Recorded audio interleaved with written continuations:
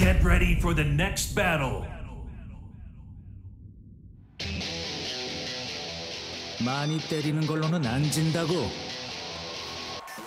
When it comes to who talks the most, you definitely win.